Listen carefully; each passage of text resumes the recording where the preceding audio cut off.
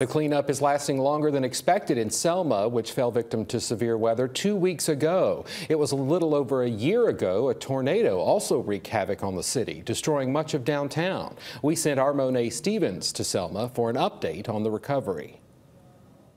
Really? Again? You know, it's like this is happening again? That was Mayor James Perkins Jr.'s first thought after a storm blew through Selma almost two weeks ago. It was really a rushed storm. The storm caused significant damage to a few houses across town, knocked down trees, and caused a power outage for 12,000 customers in Dallas County. Mayor Perkins says luckily the cleanup from this storm was swift, although they could not get any assistance from the government. It was not sufficient enough to get disaster recovery support from state FEMA or the federal uh, government. This is the fourth time that Selma has been impacted by inclement weather within the last four years.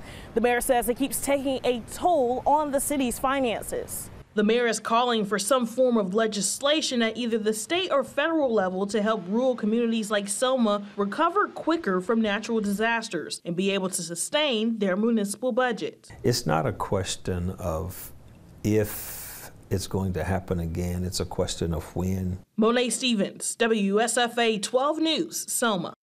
Churches, the American Red Cross, and other nonprofit groups are helping many Selma homeowners repair damage to their homes.